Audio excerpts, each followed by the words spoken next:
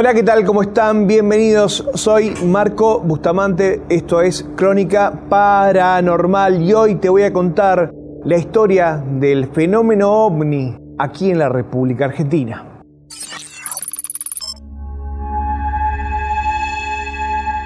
En grabados antiguos en el noroeste argentino hay extrañas figuras, extrañas eh, figuras en las que se puede ver humanoides entrando como por portales dimensionales. El noroeste argentino está repleto de sorpresas y de misterios.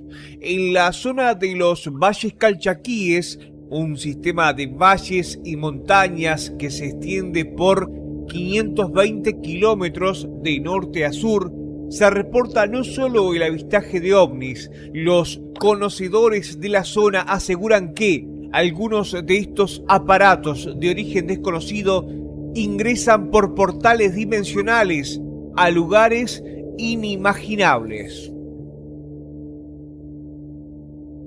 Las montañas, en los cerros, inclusive los cerros aledaños aquí, este, hay dibujos eh, a percusión en las rocas donde evidentemente lo que vieron ellos lo plasmaron ahí en la roca y son, hoy lo, denominamos ovni. Perfecto, con ventanillas y, antenas y todo, ¿no? Y seres también eh, parecidos a los extraterrestres como se los se conoce ahora, ¿no? Por testimonio de alguna gente. Son totalmente iguales. Así que ya lo sabían ver ellos. Y lo plasmaban, lo volcaban en, en las piedras que se ven ahí, los petrolíferos.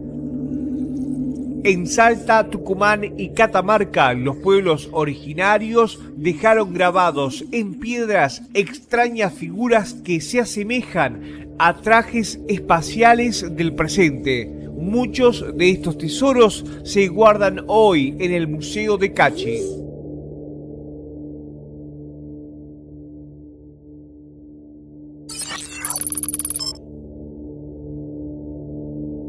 Y si visitan el museo se van a dar cuenta ustedes que hay, hay este, naves extraterrestres, evidentemente. Eh, y también seres, seres extraños, ¿no? Eh, con antenas, como escafandra. El museo está, tiene mucho, mucho de eso. Testimonio del pasado, ¿no? Que evidentemente lo sabían ver y lo, repito, lo, plasmaban ahí en las.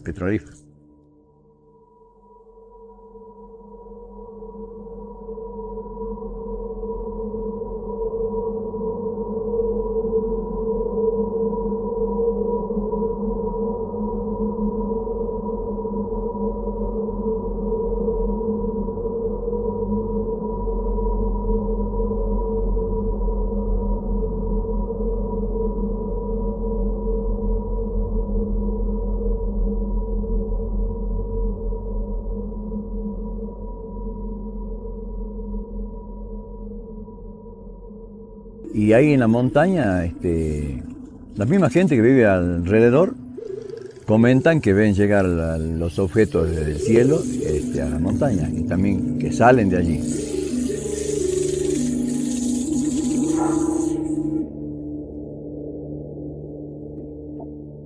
Entradas que llevan a otros mundos, pasajes dimensionales que permitían a los pueblos originarios tener contacto con la divinidad, secretos ocultos del noroeste argentino.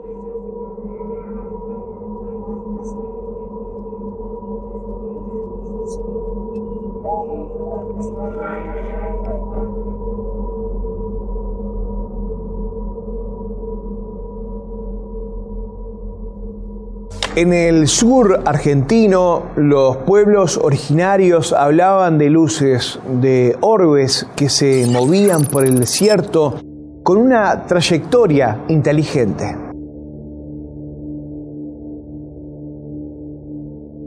Lo cierto es que recién en 1520, en los escritos de Hernando de Magallanes, cuando estaba buscando el estrecho que hoy lleva su nombre, deja anotado el haber visto en el estrecho justamente extrañas luces. En 1520, Hernando de Magallanes, mientras buscaba un paso hacia el Océano Pacífico por el extremo sur del continente americano, después de navegar durante muchos meses sin encontrar tal paso y cuando ya la tripulación se desesperaba y pedía regresar a España, a finales del mes de noviembre de 1520 apareció una extraña luz en lo alto del mástil del navío Victoria, comandado por Magallanes, que los marinos y su capitán tomaron por una señal del cielo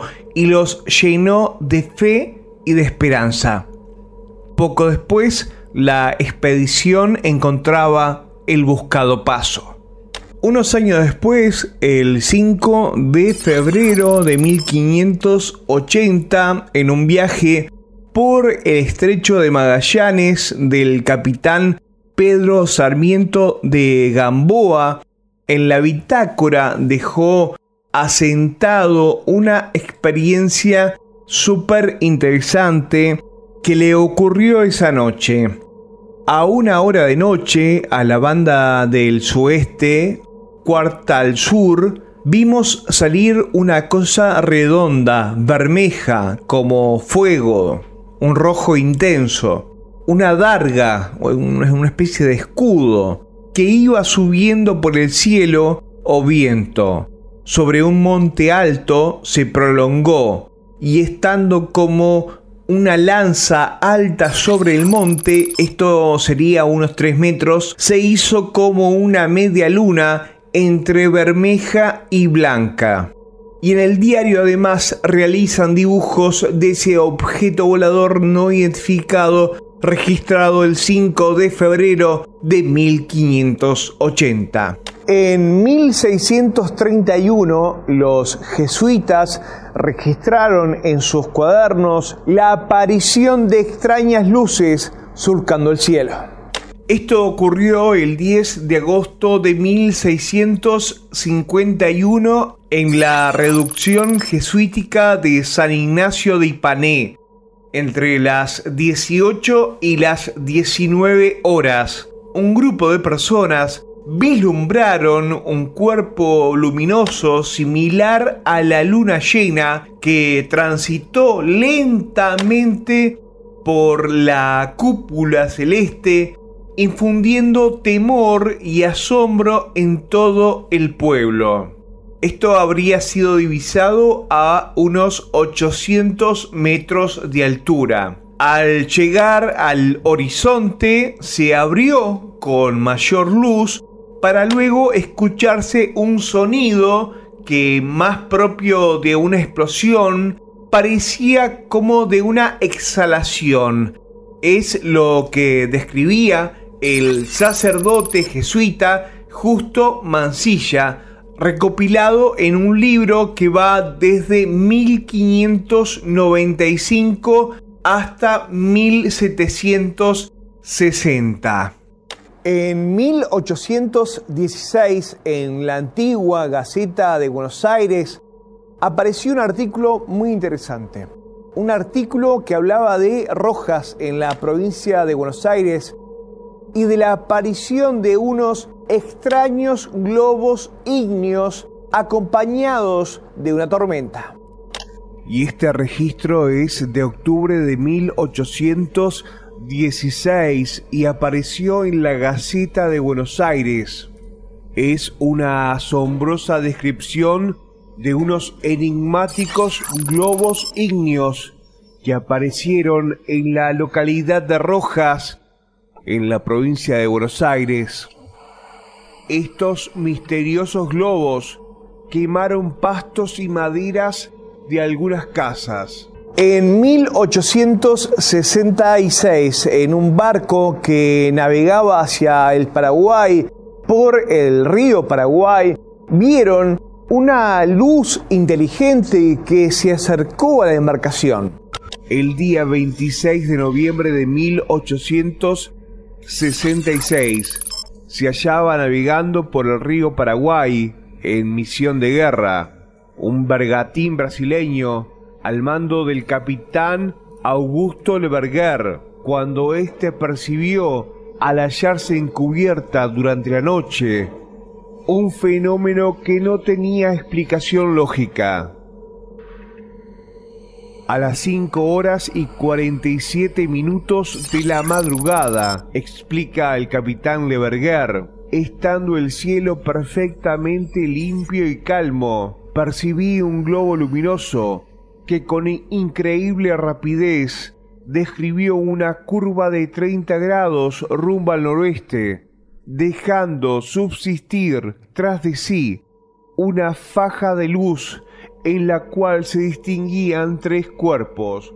En 1947, vecinos de La Plata relataron a medios locales que observaron en el cielo un plato volador. El primer caso de la historia moderna del fenómeno ovni en la República Argentina fue denunciado el 10 de julio de 1947 en La Plata.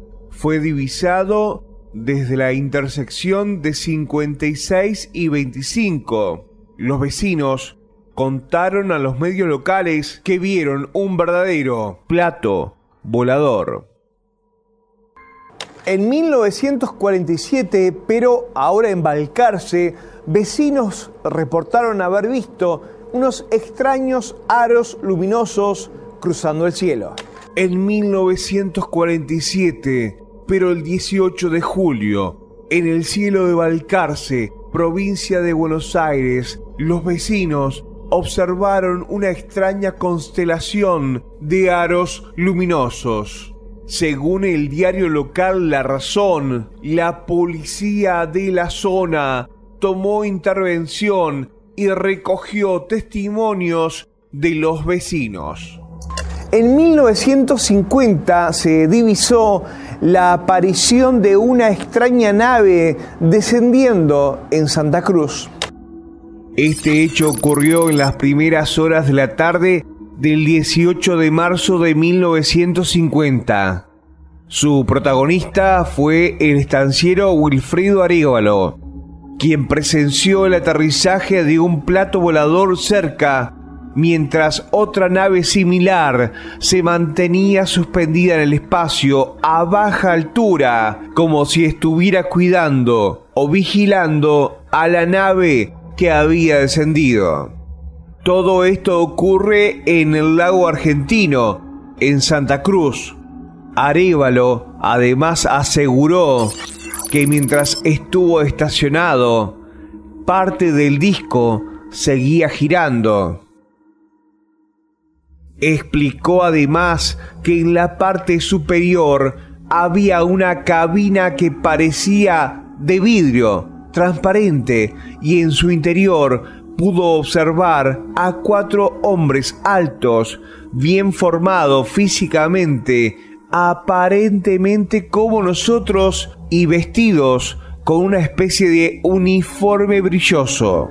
En el año 1960, el capitán Miotti de la Fuerza Aérea divisa muy cerca de Villa General Belgrano, en la provincia de Córdoba, un objeto volador cónico en la ladera de un cerro.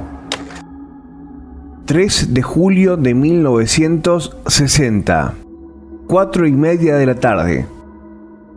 El capitán de la Fuerza Aérea Argentina, Luis Niotti, circulaba hacia el norte por la ruta 36 en la zona de Villa General Belgrano, en Córdoba, cuando observó un objeto a baja altura con su cámara de 35 milímetros, tomó una foto y ve que el objeto poco a poco comenzó a alejarse.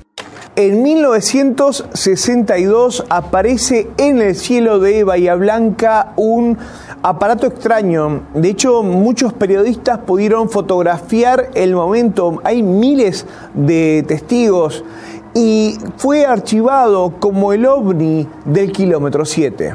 A finales de mayo de 1962, la aparición y avistamientos de objetos voladores no identificados en Bahía Blanca fueron documentados por la Armada, la CIA y la prensa local. Los diarios de aquella época dan cuenta de que algo desconocido sobrevoló el cielo bahiense. En el año 1962, más precisamente en mayo, hubo el gran evento que involucró muchísimos testigos y distintos actores. Por un lado, todos los destacados en la zona de aeronaval, este, eh, de, lo que fue el control de torre de tránsito aéreo, eh, que tiene como un protagonista fundamental a Roberto Wilkinson. Roberto Wilkinson era, estaba haciendo sus primeros eh, vuelos de instrucción y se suma la cantidad de testigos que en el sur, dentro de las, bases aeronavales, son, eh, digamos, los mandan a este, identificar en el cielo eh, lo que son los ecos que registran los radares. En 1963, en Trancas, en Tucumán, un extraño objeto apareció sobre las vías del tren, que al final no era uno, eran siete. Esta es la historia. El lunes 21 de octubre de 1963, las jóvenes Argentina y Jolín Moreno, con sus pequeños hijos Victoria, Nancy y Guillermo, llegaron desde Rosario, donde residían, hasta la villa de Trancas, en Tucumán, donde se reunirían con sus padres, Antonio y Teresa, y su otra hermana, Yolanda cenaron muy tempranos y exhaustos por el viaje, todos se fueron a descansar a sus habitaciones. Cerca de las 21 horas, la doméstica Dora Guzmán, que tenía 15 años, que se hallaba en los fondos de la vivienda, aparece una y otra vez insistiendo en que veía luces sobre el terraplén del ferrocarril, situado a unos 200 metros de distancia. Se trataba de un conjunto de cinco luces, distante entre sí a no menos de 100 metros, tres al frente y dos un poco más al norte se encendían y se apagaban con cierta intermitencia, arrojando haces lumínicos en distintas direcciones, iluminando incluso la finca. A unos 500 metros o más hacia el norte, visualizaron unas siluetas humanas desplazándose en torno a los reflectores. Transcurridos unos 40 minutos, el aparato principal o que parecía principal comenzó a desplazarse hacia el este y los demás, siempre en forma rasante, hicieron exactamente lo mismo hasta desaparecer en dirección de las sierras de Medina, distante unos 20 o 25 kilómetros de distancia, de distancia. En 1965, en una base en la Antártida Argentina, cientos de científicos que estaban trabajando en el lugar vieron la aparición de un objeto volador no identificado. Uno de los lugares emblemáticos y yo te diría que a descubrir aún más allá del evento del 3 de julio de 1965 que se dio en la base de la isla de Excepción, muy conocido por todos los seguidores del tema, donde el capitán Pericet, a cargo de la, de la base, que estaban haciendo estudios meteorológicos de, la atmósfera, y desatan la locura, eh, generando el primer comunicado oficial de la Armada, que es cuando ven un objeto que incluso altera los equipos eh, de medición, es la Antártida justamente. La Antártida es el, a partir de ahí, y no solo la experiencia de la base argentina, sino también la de la base chilena, la base inglesa, se ha documentado muchísimo esto. Mencionemos que la mayoría de las versiones apuntaron a definir que lo que habían visto todos estos militares, científicos muchos, entrenados en, muchas de las verificaciones, eh, los quisieron convencer que se trató de la pasada de un satélite. Dejando esto de lado, la Antártida siempre fue un lugar paradigmático al día de hoy. Durante muchas décadas hemos recibido de récord por parte de militares de las bases argentinas, eh, incluyendo la base Marambio, donde hablan, hacen manifestación de la aparición de luces que sobrevuelan, que iluminan a veces las instalaciones, cuando incluso hay este periodo de tormenta, acompañados por esos periodos de tormenta con la definición de que ningún tránsito aéreo puede acercarse al lugar, ni salir, ni aterrizar, ni despegar. Y este, hoy uno de los objetivos a dilucidar, básicamente porque todos los que habitan en estas bases no solo son de condición científica, gente de la ciencia, sino que son militares que definitivamente ante un evento eh, no contemplado o no convencional o convencional o lo que sea, tienen que establecer y emitir reportes. En 1968, la torre de control de Bariloche reporta un incidente con un objeto a más de 200 kilómetros por hora.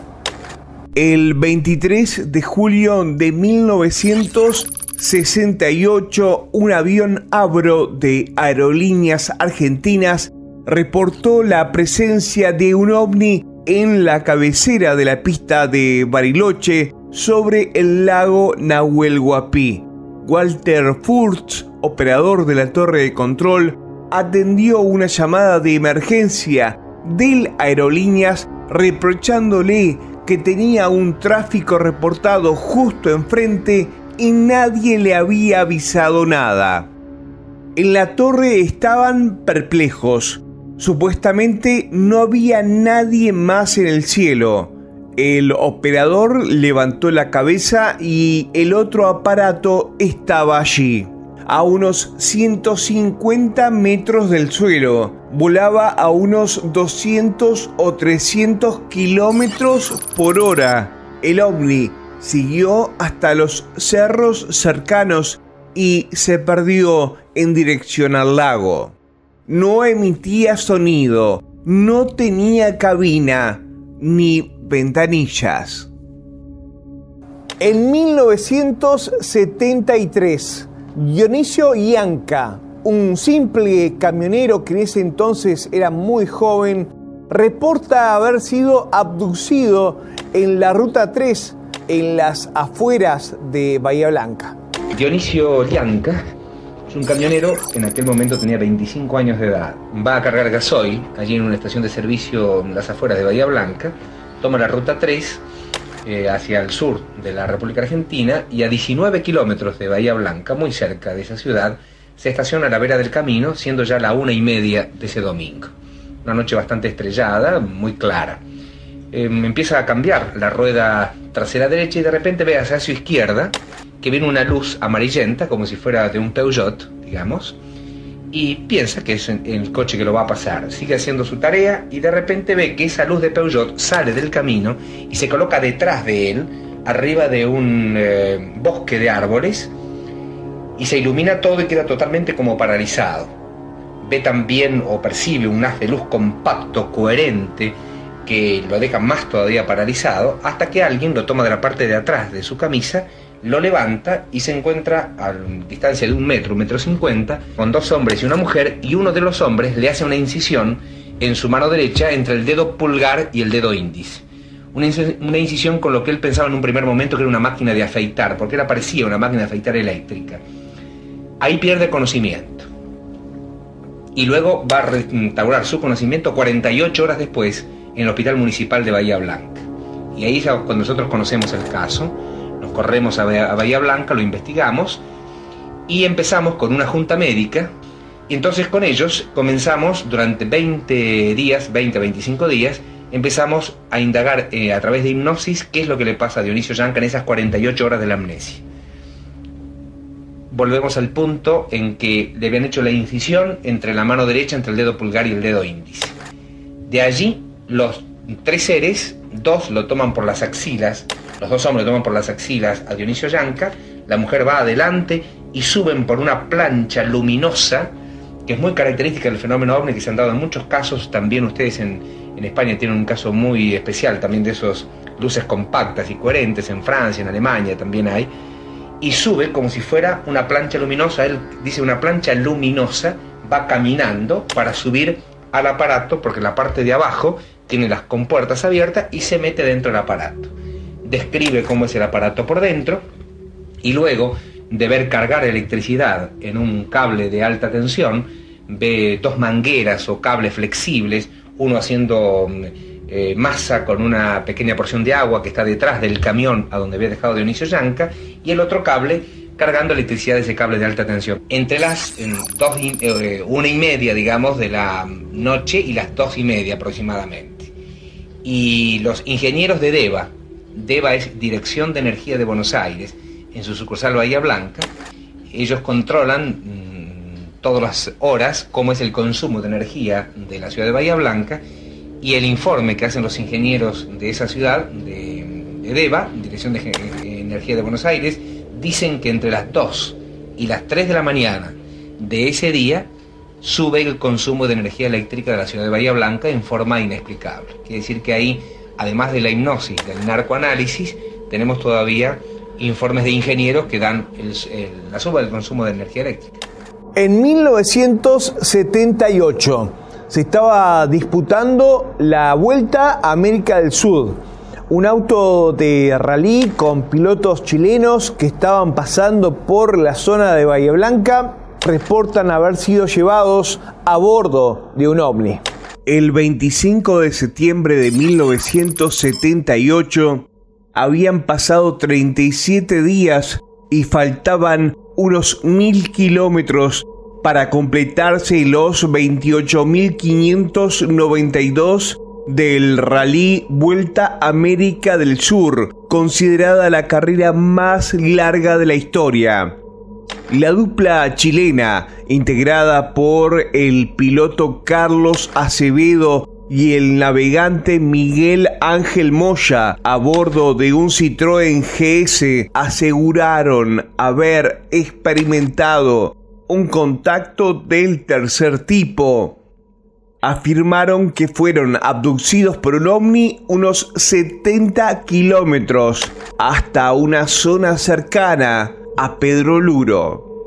En 1978 se produce un caso emblemático. Un niño de 12 años, Juan Pérez, tuvo la posibilidad de subir a una nave extraterrestre. Ese tiempo justo me tocó mi caballo quedo de nochero, no se deja toda la tropilla encerrada. Salgo a buscar la tropilla. A mí a los 12 años me gustaban mucho los tractores. Encuentro, para mí era una casilla de tratorero. Me acerco ahí, cuando me acerco ahí, bueno, vi algo blanco que parecía ¿no? una casilla, pero distinta forma. Siempre las casillas son cuadradas. Y como era blanca, me llamaba la atención que también son las casillas blancas y ya mucha neblina había esa mañana, como está viendo ahora, una neblina húmeda. Y ahí fue mi caso que encuentro una, para mí fue siempre una casilla, hasta que, bueno, eh, tuve miedo por el caso que me pasó, tuve, vamos a decir, contacto con ellos porque supe tenerlo al lado. En ese momento, bueno, pasa lo que me ha pasado que hay cosas que eh, es muy difícil contarlo porque es algo... Inexplicable. Es inexplicable, es algo muy difícil. ¿Dónde estabas? ¿Dónde fue este suceso, este primer suceso? Acá en la estancia La Victoria, atrás mío. Y más o menos de acá, más o menos a 1500 metros de mi casa. De acá, donde está. Esto es casa de mi papá. Esto fue a los 16 años, a los 12 años. 12 años. 12 años y fue la primera vez, pero decís que después volvió a suceder y más de una vez. Sí, sí, sí, sí. Cinco veces tuve y fue fue jodido porque ahí supe lo que yo ya le tenía miedo, porque nadie te cree y dónde te agarra. ¿Vos decís que vienen a darnos algún mensaje en particular o alertarnos de alguna situación que se está por venir? Sí, sí, sí. En 1978, pero en San Luis, en el dique La Florida, un grupo de pescadores que estaban pasando la noche pudieron ver cómo frente de ellos descendía un plato volador.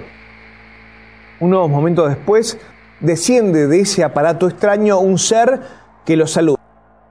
Rápidamente el caso involucra a seis pescadores que en febrero de 1978 mientras este, estaban en jornada de pesca en el dique La Florida, observan cómo un objeto baja, queda aterrizado, desprende una escalerilla y de ella baja un ser alto, aparentemente rubio, con un mameluco espacial, se acerca a unos 30-40 pasos de los testigos, alza las dos manos y extendiéndola como dando una señal de amistad, ante ese gesto, eh, retira las manos, da la vuelta y vuelve a subir al objeto que levanta vuelo y se pierde en el cielo. Nosotros eh, lo que vimos fue cuando el platillo este, chupa la luz, el platillo eh, eleva y pasa por sobre nosotros solemnemente, muy despacio, sin ningún tipo de ruido. la panza del platillo es un color plomizo, al salir de la bahía eh, toma velocidad hasta el centro del dique. En el centro del dique se estaciona, en el medio del dique. Luego este, se eleva muy rápidamente sobre las montañas que dan al frente del Club de Florida. Muy alto, es decir, alto sobre las montañas. Y se forma una aureola alrededor del plato. El plato queda en el medio, forma la aureola y se mete como en una alcancía. Desaparece el plato y queda la aureola. Después se dispersa la aureola. Ahora, ¿qué pasó? No sé. En ese momento eh, había un señor eh, encargado del Club de Florida, estaba en ese momento un señor eh, Bustos creo que era.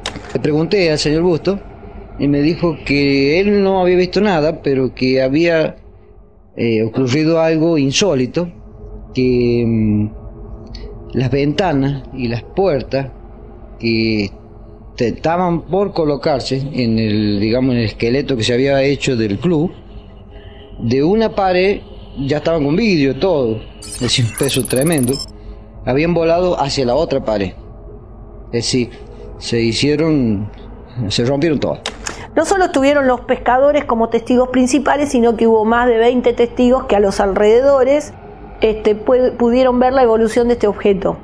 Interviene en esa época, recordemos que es eh, año muy duro, época de dictadura militar, por lo cual la policía de San Luis era la policía federal que dependía del Ministerio del Interior eh, Nacional.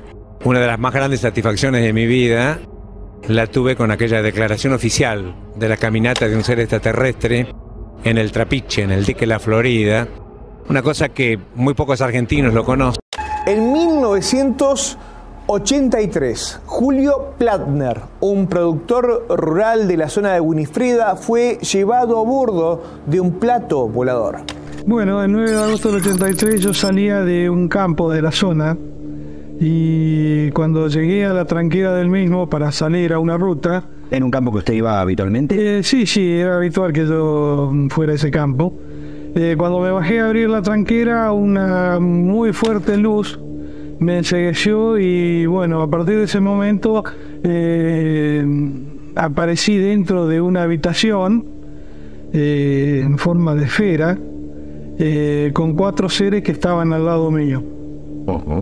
en un momento determinado, este, uno de los seres que estaba enfrente mío, eh, se acercó, me tomó de la mano y bueno, el que estaba al costado eh, eh, me colocó sobre a la altura de la muñeca un aparatito metálico con, digamos, con como si fuera una moneda, digamos, algo así. Y en uno de los extremos tenía un, no sé, un caño flexible como si fuera una goma, y otro, otro más, eh, más grueso, rígido. Eh, en un determinado momento me lo colocaron aquí a la altura de, del codo. ¿El mismo aparato? El mismo aparato. ¿Me recuerda que, que se lo sacaron y se lo pusieron en otro lugar? Claro, y este, lo, me lo- lo colocaron primero a la altura de la muñeca, donde tengo todavía una pequeña marca que se puede ver. En, eh, en el primer momento cuando me, me, este, eh, bueno, me encontré en esa habitación con estos seres, bueno, eh, estaba en una camilla, recostados en una camilla eh, muy parecida a los que usan los odontólogos. Ajá. Eh, bueno, en ese primer momento de sorpresa yo intenté preguntarle qué iban a hacer conmigo, qué querían. Intenté preguntarle, porque al ¿Me recuerda que intentó hablar y que habló? Claro, eh, no, no hablé, porque en ese momento ellos me respondieron de que me quedara tranquilo, que no me iba a pasar nada, y que había miles de casos como el mío. ¿En qué hablaban? ¿En español? ¿Usted me entendió? No, ellos se comunicaban en forma telepática, era que era algo como que yo lo sentía, ¿no es cierto? En 1986, en el cielo de Buenos Aires, aparece una enorme esfera plateada. Claramente era un globo meteorológico que era común en aquel momento, pero hizo que se hablara del tema OVNI. Nuestra cámara está aproximando en este momento la esfera con el zoom para tenerla lo más cerca posible. Si observamos hacia nuestra derecha, el copiloto de este vuelo está tomando fotografías para de alguna forma registrar este momento que puede llegar a ser sin duda alguna histórico.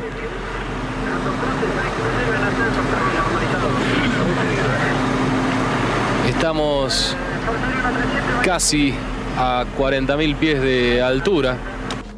El 9 de enero de 1986, a la madrugada, aparece en el Cerro El Pajarillo, en Quebrada de Luna, en Capilla del Monte, muy cerca de Capilla del Monte, ahí en Córdoba, una nave, un objeto volador no identificado, que se posa sobre el cerro y deja una extraña marca que hasta el día de hoy sigue siendo y quedó en la historia como la huella del pajarillo. Cuando venimos a esta zona, yo estoy en la quebrada de Macero, que queda detrás del Cerro Pajarillo, la noche del 9 de enero de 1986, esperando un contacto programado entre las 11 de la noche y las 12 de la noche del 9 de enero para el 10. Cuando a las 23.30 aproximadamente, una nave viene de Quebrada de Luna, de la zona de Ongamira, pasa por, por la quebrada, llega hasta lo que sería el segundo vado, ahí gente que, que vivía ahí en ese tiempo lo ve, la abuela, la, la tía, la madre, un chico que estaba ahí con ellos, queda suspendido durante unos segundos y se va para el pajarillo. Pajar- paralelamente, nosotros que éramos 12, estábamos esperando sobre las piedras el contacto. A las 23.30 aproximada, la nave aparece, eh, queda como bamboleándose, era como, como algo muy luminoso, empiezan a salir naves más pequeñas, que ahora sabemos que las llamamos naves de traslado o canipla de traslado, que puede tener hasta 3 metros y ser brillante o transparente, y comienzan a moverse. Yo llegué a contar unas 12, 14, hay otros del grupo que contaron como 25 y se movían todas por las laderas de los cerros durante varios minutos. En un momento determinado, todo lo estamos viendo, incluso había gente que estaba al lado mío que se dio vuelta, me decía, Dante, no diga lo que estás viendo, algunos tuvieron miedo, eh, y eso se queda y de pronto todas las, estas luces pequeñas empiezan a meterse en la más grande. Una, antes de meterse, se acerca más, mucho hacia donde estábamos, y se veía algo redondo y brillante, y enseguida vuelve hacia atrás, hace la curva y se mete en la más grande. La más grande va detrás del cerro y se ve un resplandor. Cuando aparece ese resplandor, yo siento en mi cabeza, el hombre debe ver para creer, acá tienen la prueba, difúndanla. Yo creí que era la prueba, era lo que habíamos visto. Pero resulta que con ese resplandor, en dos segundos que duró, tres segundos que duró el resplandor, porque no fue un flash, viste, apaga y se prende, no, duró unos segundos, dos segundos, tres segundos, ¿eh? deja la famosa huella del Cerro Pajarillo. También en 1986, pero en Atalaya, en Punta Indio, comenzaron a aparecer extrañas marcas, posiblemente dejadas por objetos voladores no identificados. Y entramos en la década del 90, en 1991, en la zona de Victoria, en Entre Ríos, comienzan a aparecer extrañas luces sobre la laguna del pescado. El primer elemento es la, estancia La Pepita del matrimonio Basaldúa, donde había una protagonista excluyente que era la esposa de un juez, eh, Baby Basaldúa, y empezamos a tratar de contactarla. Nos arrimamos a la estancia y esa misma noche que llegamos al lugar nos damos cuenta que era la referencia clara de todo lo que todos nos decían. Estaba frente a la laguna del pescado, el lugar por excelencia donde todos los testimonios apuntaban como el, el, espacio de donde salían estas luces. Y efectivamente nos presentamos con Baby muy amablemente nos permitió quedarnos eh, hacer observaciones y esa misma noche vimos la evolución de tres luces que en forma errática iban y venían a muy baja velocidad, rojas, azules, verdes. Estamos hablando de julio barra agosto de 1991 donde no había drones claramente, esto no, no, había ninguna posibilidad de compararlo con movimientos convencionales por las características extraordinarias de esos giros, de esos vuelos y de las velocidades. Eh, ahí conocimos mucha gente que ya estaba involucrada, un periodista local, este, Pereira, Ramón Pereira, que de alguna manera es el responsable que el caso Victoria tome trascendencia no solo nacional sino internacional, porque esa misma noche que estábamos con él, él estaba con las cámaras del canal local, el canal 2, que es de Victoria TV, y registra la evolución de ese objeto. Y con, esa, con ese video, con esa videograbación, convoca a los medios nacionales y a la semana se hace presente eh, ATC, lo que es hoy la televisión pública, y logra registrar un video extraordinario con dos luces que hace una evolución, que hoy cuando la vemos nos causa mucha gracia porque si mostramos esa filmación hoy, la gente diría, bueno, eso puede ser cualquier cosa, y sin embargo en esa, en esa oportunidad, ante los elementos tecnológicos muy, muy disminuidos, era de gran valor este, eh, de evidencia, digamos. Así que eso disparó el caso Victoria y a partir de ahí todo lo que aparecía involucró, por ejemplo, las jornadas de evoluciones de 3, 4 luces por la costanera, donde se reunían cientos de personas de Victoria. En esa época, el cuidador del campo cercano, Cota Colmán, cuenta que tuvo un encuentro cercano con un ovni y que desde ese aparato comenzaron a bajar seres y lo contaba de esta forma. A las 10, más o menos aproximadamente las 10 de la noche, a cerrar el molino, ¿no es cierto? Y fui a cerrar el molino, entonces me senté en el tanque a mirar por si salían los hornos. Entonces digo yo, no, no es el macana que hay hombre. Ojalá saliera para conocerlo. En ese momento, Coleman jamás imaginó la experiencia que estaba a punto de vivir. Y entonces me paré de ahí, de vuelta, salí por el, por el cerquillo. De repente se me bajaron los chorros de fuego, de arriba. Entonces yo me sorprendí, ¿no es cierto? Nunca me había pasado eso. Era el chorro de fuego que a uno lo quemaba. Lo quemaba, de arriba para abajo. Y yo entonces le contesté medio mal, vaya mierda le digo. y eché mano al cuchillo. Y me ajustó y me volteó. Y ahí me parece que yo gritaba. Y salía a la rastra. Quería parar en cuarto parte no podía. Me caía, me caía, me caía. El primer salto perdí una pargata. Cuando bandí abajo del, el alambre, donde estaba el tala, yo el cuchillo y un pedazo de la camisa. Y me enderecé en el tala y lo abracé al tala. Y me abrazado. Veo unos cositos blancos allá y unos flashes que me largaban. Me largaban esos flashes. Y me quemaba. Entonces el tala se comenzó a hacer así, así, y le digo mi perrito, vamos a disparar compañero porque esto no va a ser para nosotros. Y yo pensaba descubrirlo. Pero no pude. Disparé. Disparé.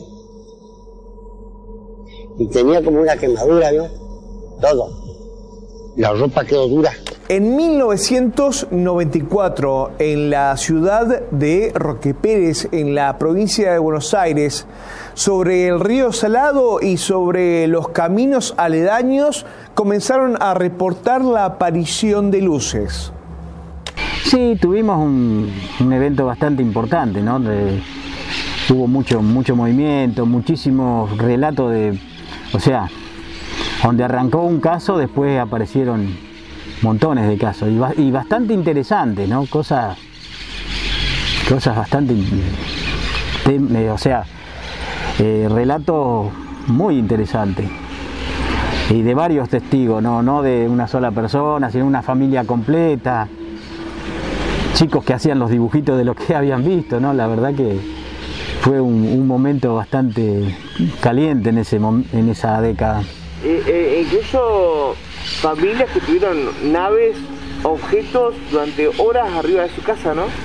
Sí, hubo un caso que una familia volvía de, de estar con, siempre de noche, ¿no? Volvía de estar con familiares, hacía haber compartido una cena. Cuando llegan a la casa encuentran un objeto ahí, ahí a, un metro del suelo, eh, este, tambaleándose y como que estaba roto o que no funcionaba. Eh, bueno, se metieron a la casa, eso hace mucho tiempo, ¿no? Eso es como decís vos, 25, 30 años.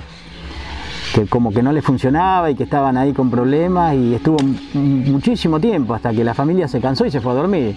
En 1995, en julio, ocurre uno de los casos más emblemáticos de la historia de los ovnis en la República Argentina. Tiene como protagonista dos aeronaves. Por un lado, un avión de aerolíneas argentinas, un 727. Por otro lado, un avión sanitario de Gendarmería Nacional. Los dos eh, aparatos estaban bajando en Bariloche. Justo cuando estaban bajando aparece un ovni que se pone al lado del avión de aerolíneas argentinas. La historia es esta. Estando próximo al control de la torre de Bariloche, eh, ponemos la frecuencia de esa torre de control. Y comenzamos a escuchar eh, la conversación de un avión de aerolíneas argentinas que estaba sobre la vertical de Bariloche, del aeropuerto, y preguntaba a la torre si tenía algún tránsito reportado en la zona. Eso significa que él estaba viendo aparentemente alguna aeronave que estaba volando ahí. Y él no tenía conocimiento, o sea, el piloto de línea no tenía conocimiento. Por eso preguntaba al control si tenía algún tránsito reportado en la zona. El control de Bariloche le responde que negativo, el único tránsito reportado era el Golf November 705, que era nuestro avión, que estaba en vuelo, en ese tra- estábamos en un tramo desde Neuquén a, Bariloche. Nosotros estábamos en ese momento, cuando escuchamos esa com- comunicación, a aproximadamente 38, entre 38 y 40 millas afuera del eh, aeropuerto de Bariloche. Ya habíamos descendido y estábamos a, 13 a 11.000 pies y el avión de línea teóricamente estaba volando por debajo nuestro a 6.500, 7.000 pies aproximadamente, estimo. Cuando el avión de línea le indican qué posición del aeropuerto se encuentra, se llama en viraje de procedimiento, y que tenía un objeto que lo estaba formando, dice el piloto, o sea, volando paralelo a él. Significa formando vuelo formación.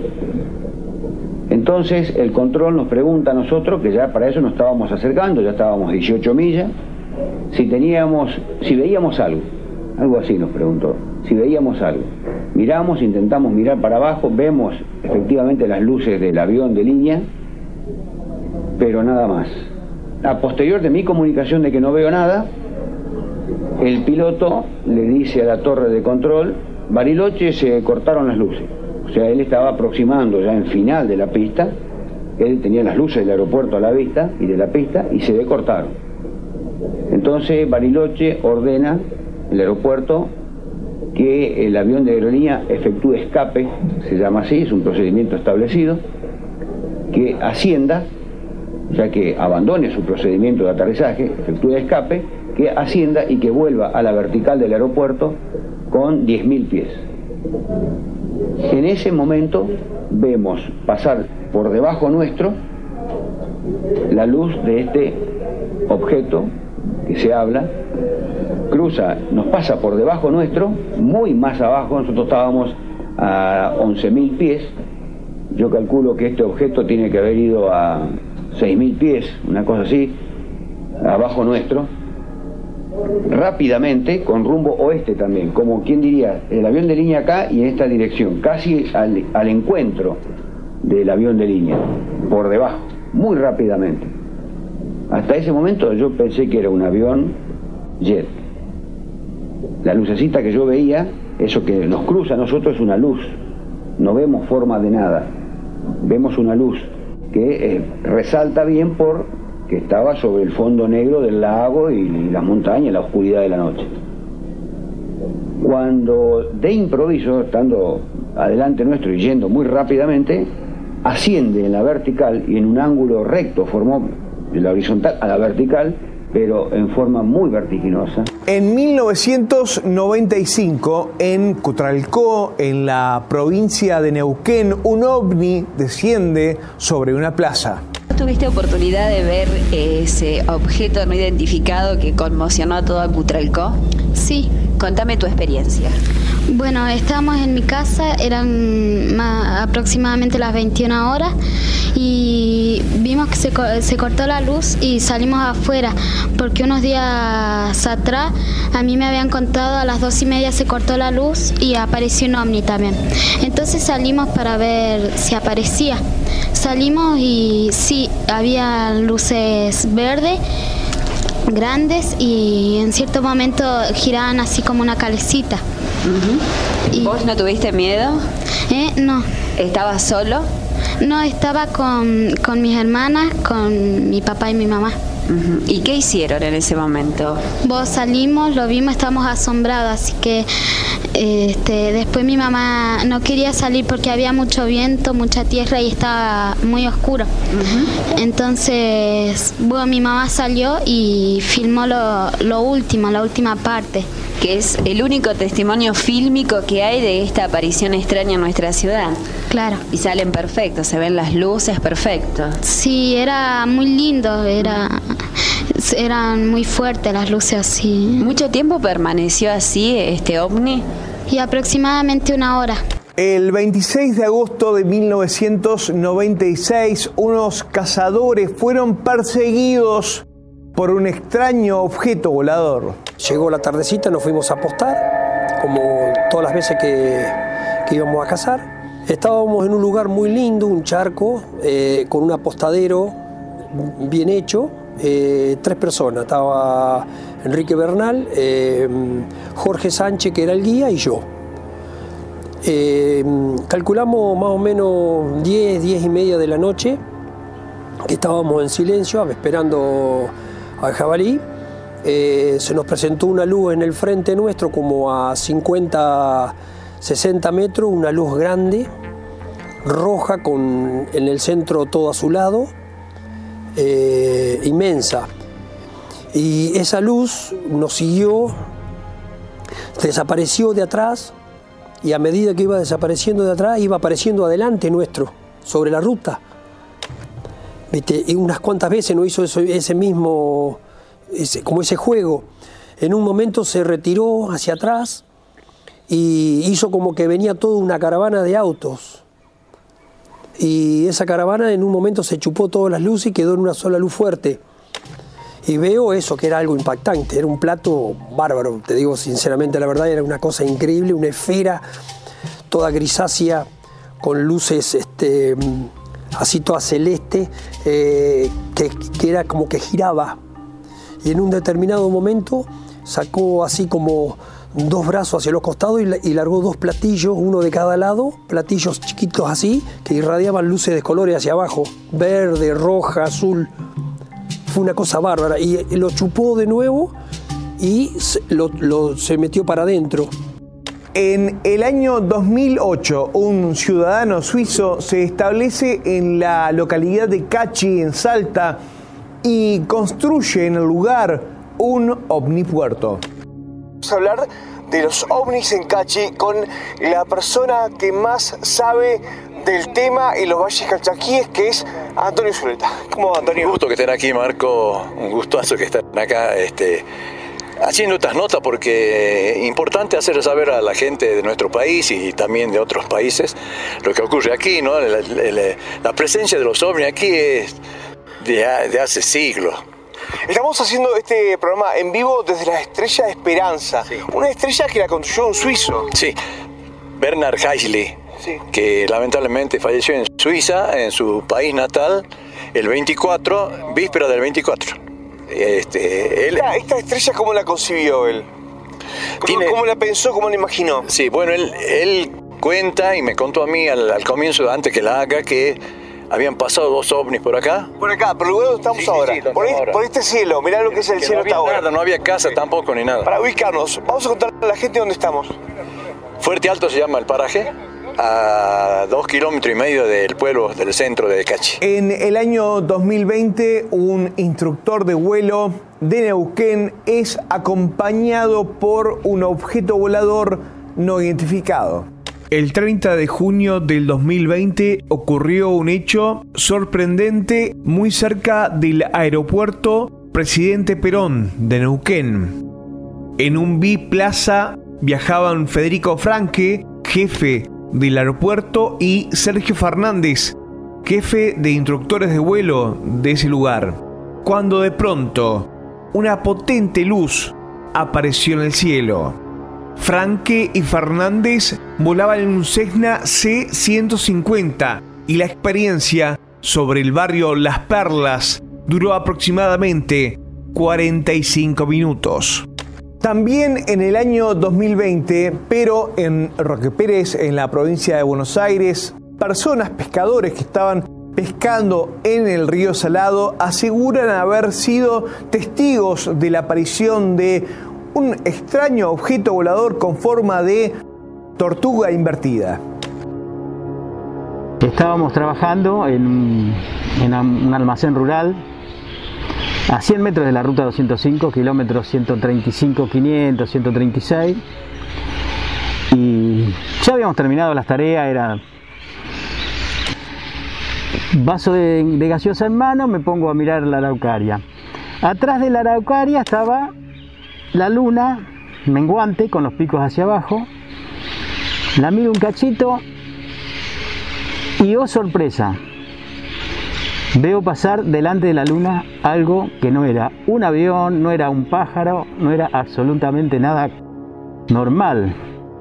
En el año 2021, en la zona de Balcarce, una fotógrafa publicitaria registra la que hasta el día de hoy es la mejor foto de un ovni de la historia.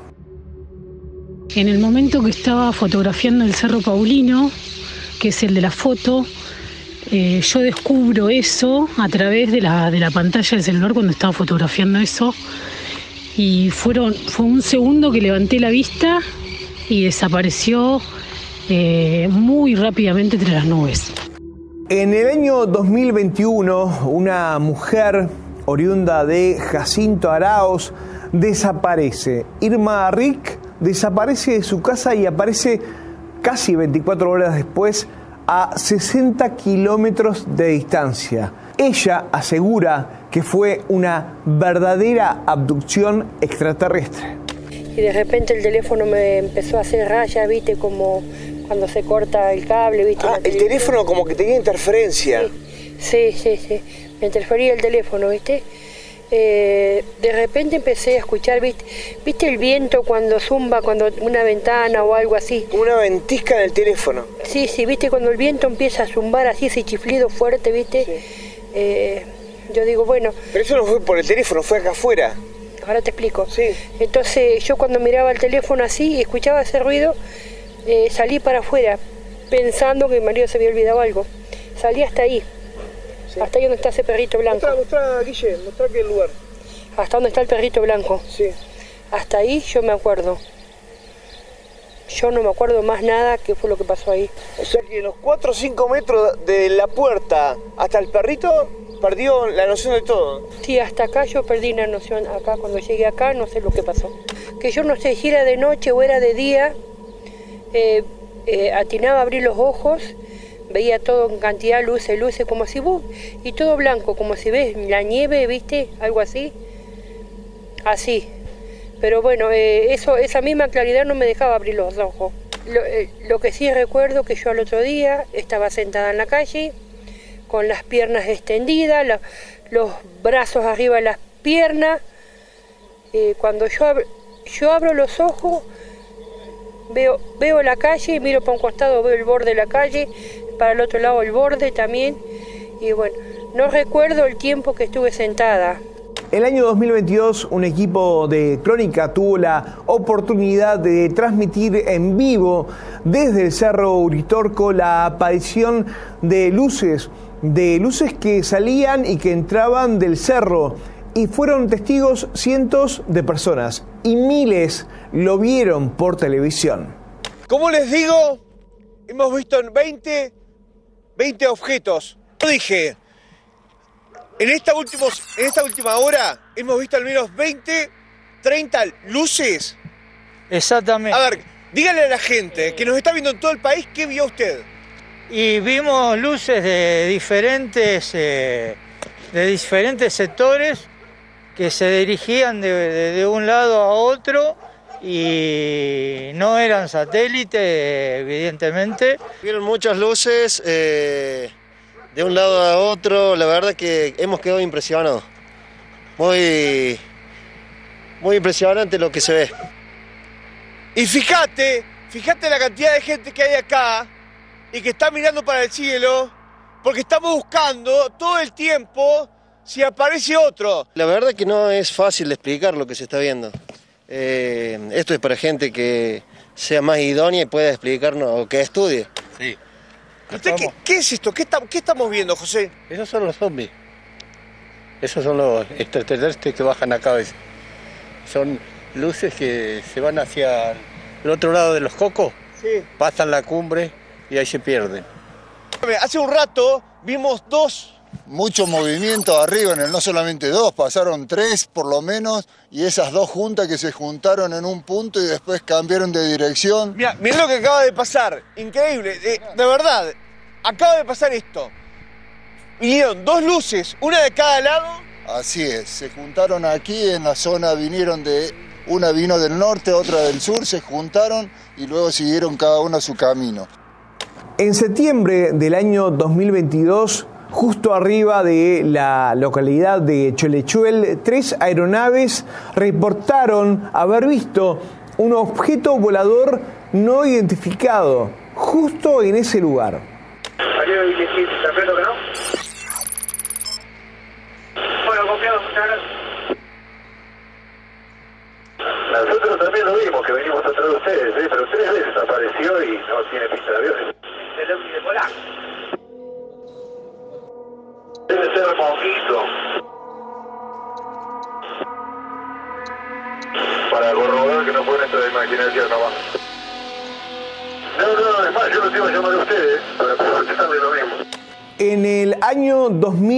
2023 aparecen en el Cerro del Pajarillo, recordemos que en el año 86 ya habían aparecido nuevas marcas.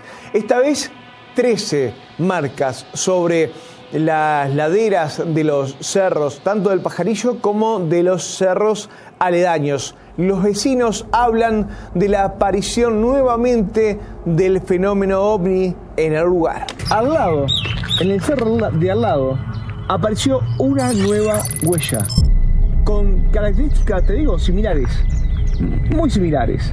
Y allá, en el otro cerro, casi te diría a 200 metros de donde apareció la huella original, otra huella más. Llamó la atención este piloto que estuvo en casa, eh, que sobrevuela la zona bastante, pero él siempre me dice que varía mucho la cantidad de círculos que cada vuelo que él hace, este, a veces se encuentran 3, 4, 11 huellas, tanto de este lado como del otro lado de la sierra, que en- desde nuestro punto de vista no lo podemos localizar. ¿no? Hasta aquí Crónica Paranormal a través de Crónica Televisión. Un gusto haber estado junto a todos ustedes. Nos vemos el próximo sábado aquí en Crónica TV.